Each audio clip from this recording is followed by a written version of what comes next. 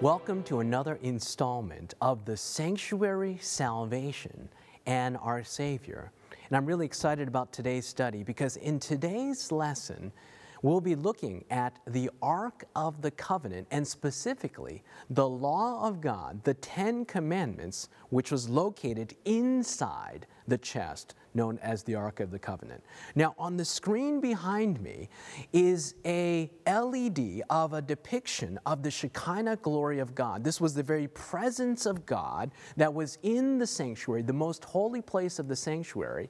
And inside this chest was the Ten Commandments, on which God wrote with his own finger on tablets of stone, and God received or God gave Moses the Ten Commandments and instructed him to put it inside the Ark of the Covenant. Now, there's a lot of contradictions that seem to come out of Scripture, and there's some confusion in the Christian community about the law of God and the Ten Commandments. Some individuals say that the law of God was done away at the cross. Other individuals say that if you break one, you break them all. Which is it? Is the law still binding today, or has it been done away with at the cross? And the solution for this seeming contradiction is really that there are two laws in the Bible. Let's go to our screen here. We have on the left side the Ten Commandments, and on the right side, you have Moses' ceremonial law. And I want to compare and contrast these two. Let's go to the left hand column here. The Ten Commandments was written by God, according to Exodus chapter 31, verse 18, and was written on stone. When God gave Moses the Ten Commandments, he didn't dictate the Ten Commandments to Moses and say, hey, I'm about to give you something very important. I want you to write it down. No, this was so important to God that God said, I'm going to write this myself. And notice the material that God used for the Ten Commandments. He didn't write it on parchment, He didn't write it on a scroll, He wrote it in stone. Have you ever heard the saying, written in stone?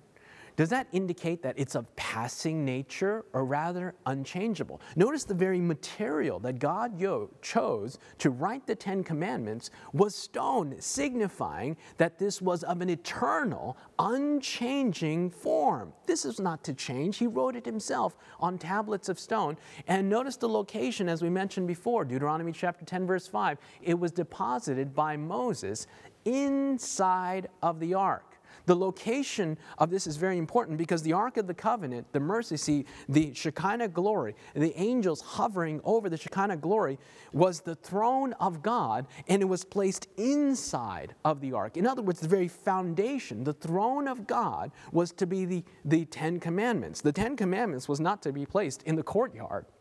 The Ten Commandments was not to be placed in the holy place. The Ten Commandments was not just to be placed in the most holy place in any, any sector of it. No, the most sacred entity in the entire sanctuary was the Ark of the Covenant, and the Ark of the Covenant held within it, in the chest, representing the throne room of God, was the Ten Commandments placed inside of the Ark.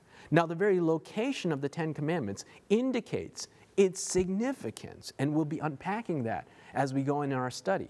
Isaiah chapter 42, verse 21 Christ was to magnify the law and make it honorable. In other words, Jesus did not come to do away with the Ten Commandments, but as we see in the Beatitudes, Jesus came to expound on the Ten Commandments. He said, You have heard, thou shalt not commit adultery. But if you commit adultery or you think about lust in your own mind, in your own heart, you have committed adultery in your heart. He expounds on the Ten Commandments.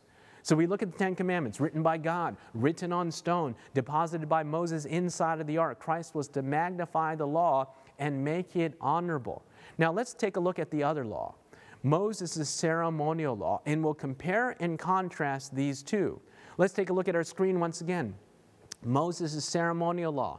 It was written by Moses. God's law the Ten Commandments, written by God. This one was written by Moses, and according to Exodus chapter 24, verse 4, it was placed in a book. The third part, Deuteronomy chapter 31, verse 26, it was deposited by the Levites by the side of the ark. Now, notice the distinction between the two just in terms of location. The Ten Commandments was placed inside of the ark, while the book of Moses, which was written by Moses and placed inside a book, was placed at the side of the ark. So, just by location, the Ten Commandments had a higher place. It was placed inside the Ark of the Covenant, while the book of Moses was placed outside of the Ark of the Covenant. In Deuteronomy chapter 31, verse 26, it was to be against the people. And in Colossians chapter 22, uh, verse 14, it says that you blot, the, the blot, they blotted out the handwriting of ordinances that was to be against the people. In other words, when the Bible talks about the law of God being done away with, it's not talking about the Ten Commandments. It's talking about Moses' law. It was to be of a passing nature. And when Jesus died on the cross, there's something significant that took place there in terms of the temple. The temple veil was rent from top to bottom, indicating a transition from the sacrificial ceremonial feast. When Jesus died on the cross as the Passover lamb, we don't have to kill a lamb today anymore. And I praise the Lord for that. Praise the Lord that Jesus is the Passover. Jesus is the Lamb of God who takes away the sins of the world. And all of the ceremonial feasts and festivals that pointed forward to Jesus, we don't have to keep them anymore. These are not a part of the Christian uh, um, ceremonies and, and rituals. We don't have to do these anymore because Jesus came as the Lamb of God and Moses' law was nailed to the cross. But this is not talking about the Ten Commandments. This is talking about the ceremonial law, which is of passing nature. Now, this is a question that was posed to Billy Graham in regards to the law, in regards to some of the confusion that is out there. Here's the question to Billy Graham Some religious people that I know tell me that the Ten Commandments are part of the law and that they do not apply to us today. They say that as Christians, we're free from the law. Is that right? And here's Billy Graham's answer No, it is not right. And I hope that you will not be misled by these false opinions. It is very important that Christians understand what the Bible means when it says they are free from the law. It certainly does not mean they are free from the obligations of the moral law and are at liberty to sin. You see, the word law is used by the New Testament in two senses. Sometimes it refers to the ceremonial law of the Old Testament, which is concerned about ritual matters and regulations regarding food, drink, and things of that kind. This ceremonial law was of a passing character and was done away with when Christ came. From this law, Christians are indeed free. But the New Testament does also speak of a moral law, which is of a permanent, unchanging character and is summarized in the Ten Commandments. This law sets forth God's demands on human life and on man's duties to God and his neighbor. That it definitely applies to Christians is made clear in Romans 13 8 through 10. Billy Graham. I agree with this assessment. There are two laws. Moses' law was of a passing nature and was done away with. It was nailed to the cross. But the Ten Commandment law, which was placed inside of the ark, is of an eternal nature. It was not done away with at the cross, and Billy Graham's assessment here is absolutely correct. In James chapter 1 verse 23, the Bible tells us that the law of God is like a mirror. I praise the Lord for mirrors a mirror tells the truth. Have you ever gone through a day and you think you just look fine? And then you look in the mirror and then you're like, oh, people were looking at me and I look like this? You know, and uh, you don't get mad at the mirror, you do an adjustment. In other words, the mirror is a moment of self awareness. The mirror shows us our need.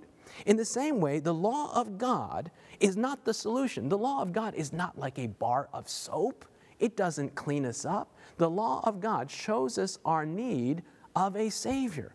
So when we talk about the law of God, we must remember that we're not saved through the law. The law is the standard. The law is a transcript of the character of God. The law is like a mirror and shows us our need of a Savior. As we look into the mirror of God's perfect righteousness, His perfect character, we see that we are sinners in need of a Savior. So the law points to Jesus. The law is not like a bar of soap. That is, its purpose is not to clean us up, but to show us our great need. Jesus said, If you love me, keep my commandments. John 14, verse 15. So God's faithful people keep his law because they love him, not in order to be saved, but because they are saved by his amazing grace. This is important for us to recognize that we are not saved through the law, we are saved by grace through faith in Jesus Christ alone. And the law is a transcript of God's character. He writes it in our own hearts, and we love Him because He first loved us. It is not the means of salvation, it is the response to the love of God. The law of God is. Now, when we look at the Ten Commandments, we note that the first four are in reference to our love to God. The last six are in reference to our love to our neighbor. In other words, if you love God, you will keep the Sabbath. If you love God, you will have no other gods before Him. If you love God, you won't worship idols. If you love your neighbor, you won't kill him. You won't take his wife. You won't lie, cheat, or steal from him. In other words, the law of God is fulfilled in love. And God wants to write that law in our own hearts and in our own minds. The law of God is not a, an imposed extrinsic idea of obligation. We think of the law in terms of you can't, you can't do this, you can't do this, you can't do this. But actually, the law of God is written in a way that really says, in a form of a promise, you will not. Quite a different paradigm, isn't it? In other words, if you love God, you will not have any other gods before Him. If you love your neighbor, you will not kill him. If you love your neighbor, you will not cheat.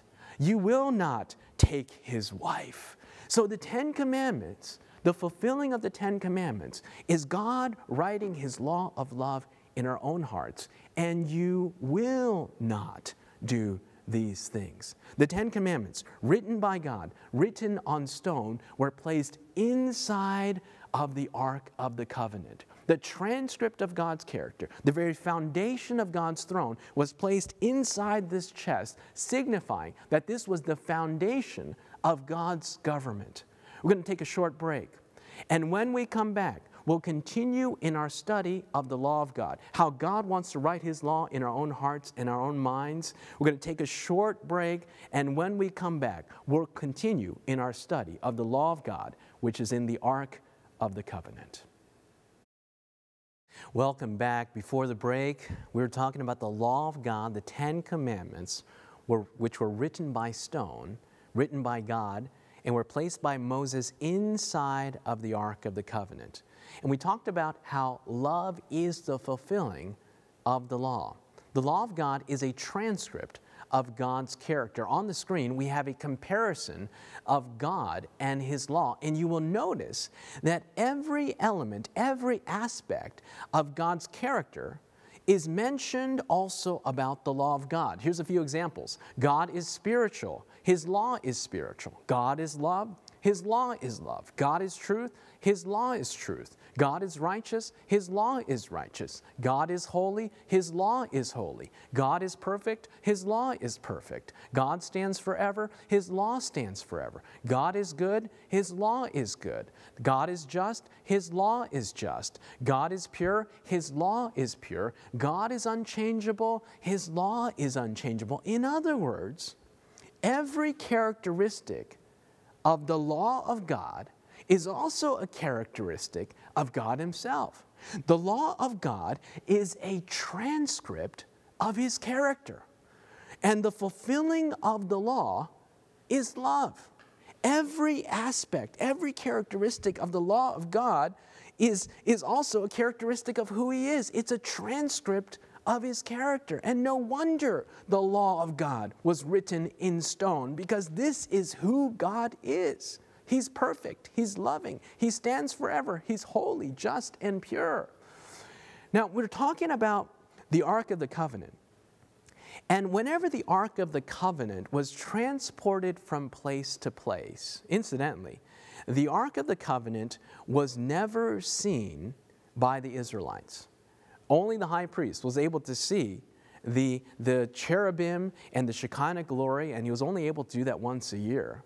When the Ark of the Covenant was being transported, they were not able to see inside to see the, the chest. All they saw was this covering, and here in Numbers chapter 4, verse 5 and 6, the Bible tells us when the camp prepares to journey, Aaron and his son shall come, and they shall take down the covering veil and cover the ark of the testimony with it.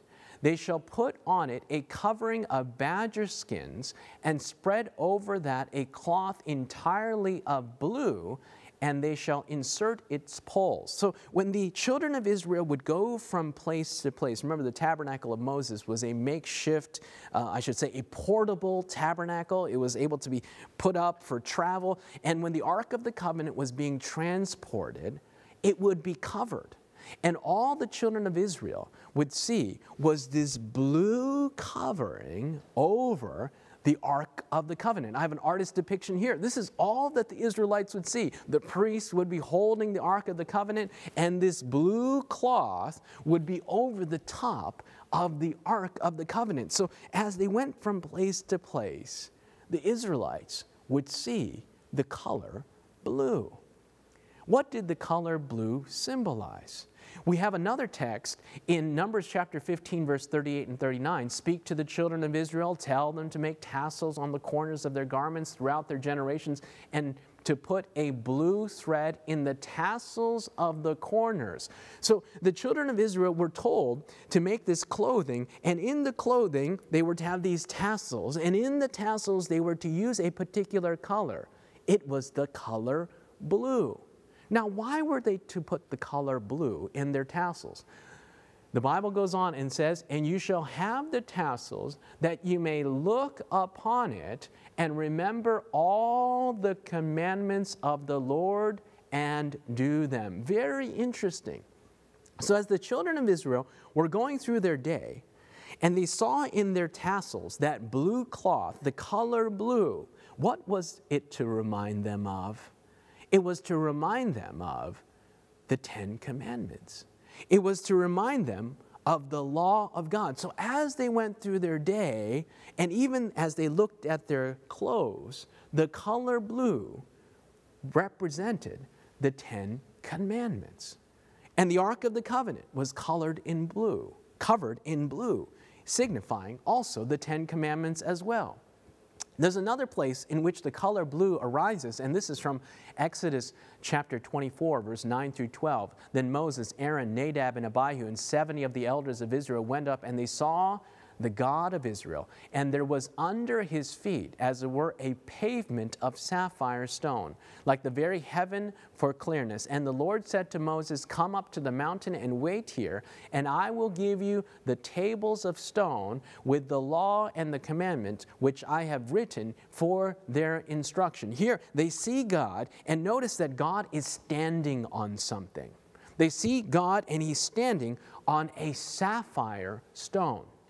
What a picture that must have, be, have been. The, the, the God is standing on this sapphire stone. What color is sapphire?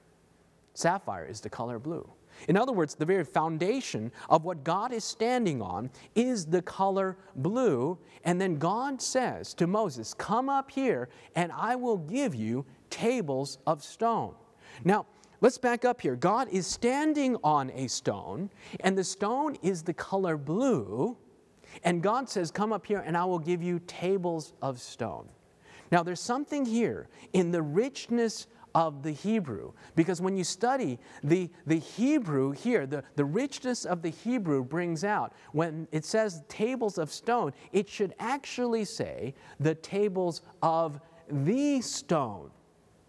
Now, there's a difference the tables of the stone. And when you look at the literary context of this, scholars believe that the tables of the stone that Moses was given on Mount Sinai came from the sapphire stone that God was standing on. In other words, when God was going to find the material to give Moses the Ten Commandments, he wanted to portray the significance of the Ten Commandments. And what better significance of the Ten Commandments than the very foundation of what God is standing on and what his throne is founded upon? He took it from the sapphire stone. And so scholars believe that the Ten Commandments the tables of the stone, which God took from the very foundation on which he was standing on. In the Hebrew, the nuance, the evidence is there that God took the tables of the sapphire stone and gave it to Moses. That when Moses took it down from the mountain and placed it inside the ark, that the Ten Commandment stones were sapphire. In other words, they were the color blue. There's another place in Scripture where the color blue arises, and in 2 Chronicles chapter 5, verse 10. There was nothing in the ark save the two tables which Moses put therein at Horeb when the Lord uh, made a covenant with the children of Israel when they came out of Egypt. Note, Horeb is another name for Sinai. Now, in the transition period between the tabernacle of Moses and Solomon, there was only the tables of the stone that were left in the Ark of the Covenant. Remember, there were a couple other articles that were placed inside the chest, the Ark of the Covenant. It was Aaron's rod that budded and a pot of manna and the Ten Commandments. But when they transitioned from Moses' tabernacle to Solomon's temple, only the tables of the stone were left there. In other words, the Ten Commandments were the only thing that were left inside of Solomon's temple. This is important. In Ezekiel chapter 10, verse 11, then I looked, and behold, in the firmament that was above the head of the cherubims, there appeared over them, as it were, a sapphire stone, as the appearance and likeness of a throne. Notice that in Ezekiel chapter 10, verse 1, the, here Ezekiel is not seeing the Ark of the Covenant. He's seeing actually what the Ark of the Covenant pointed toward, and that was the throne of God. Here, Ezekiel is seeing a throne or the throne of God. And notice that this entity, the sapphire stone, appears. And notice there are cherubim that are above the sapphire stone, just like is depicted by the Ark of the Covenant. The Ark of the Covenant had the cherubim, and inside the Ark of the Covenant was the sapphire stone. And here Ezekiel is seeing the real thing. He's seeing this vision of heaven in verse 26. Above the firmament, over their heads, there was the likeness of a throne, in appearance like sapphire, and seated above the likeness of a throne was, as it were, the likeness of a human form. Let's look at this. Ezekiel sees a vision of God sitting on his throne. And the very throne of God is made of sapphire. This has special significance, friends, because it indicates that the very foundation of God's government, the very principles on which God governs the universe, the very throne room of God, is made of sapphire, indicating that the Ten Commandments and the principles found therein, the law of love and liberty, is the very undergirding and the foundation of the government of God, the King of kings and the Lord of lords. It's no wonder that Lucifer, in the great controversy, made an attack against the law of God. Because if you can strike at the foundation of God's government, you can undermine all of the principles of which God and his kingdom stand for. In these verses, Ezekiel identifies the blue and sapphire stone that God is standing on as the throne of God. That means that the sapphire stone God is standing on in Exodus chapter 24 represented God's throne, and the Ten Commandments were taken directly out of God's throne. In Hebrews chapter 1 verse 8, the Bible says, "But unto the Son he said, Thy throne, O God, is forever and ever." A scepter of righteousness is a scepter of thy kingdom. If God's throne is eternal, then it also means that God's law is eternal as well. The Bible says that God's throne will last forever. And by implication, if the law of God, the sapphire stone, is God's throne, then the law of God is forever as well. And God wants to write the law of God in our own hearts and our own minds. Romans chapter 13, verse 8 through 13, the commandments. You shall not commit adultery, you shall not murder, you shall not steal, you shall not covet, and whatever other command there may be are summed up in this one command love your neighbor as yourself. Love does no harm to a neighbor. Therefore, love is the fulfillment of the law.